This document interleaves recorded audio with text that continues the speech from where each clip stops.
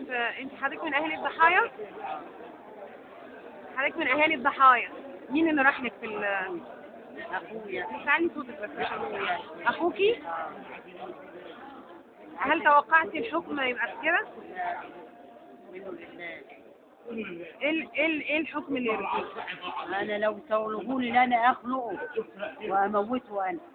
بس للاسف انت عارفة ان ال- الحكم اتحول لجنحه طب أول ما عرفت إنه اتحول لجنحه كان إحساسك إيه؟ هعمل إيه؟ ها؟ هنعمل إيه؟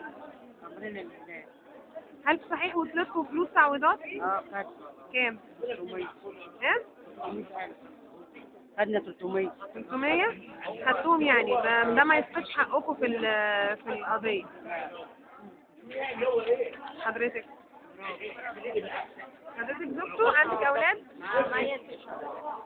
هو كان رايح يشتغل؟ طيب أكبر أولادك قد إيه؟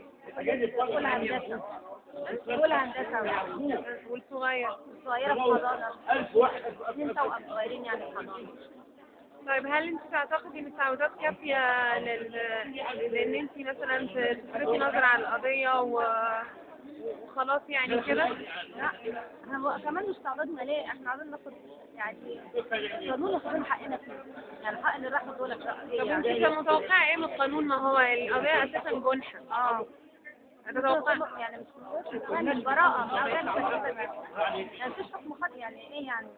الحاجات اللي قالت دي والحصل فيها وال- والعيوب العبارة وال- وكل ده مفيش يعني حاجة براءة كده يعني إزاي يعني؟ مرة براءة.